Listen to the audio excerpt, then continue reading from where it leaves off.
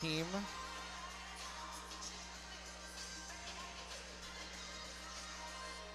But we always love to see someone come back for a victory lap. She does that Delchev connected directly down to that bail or an overshoot.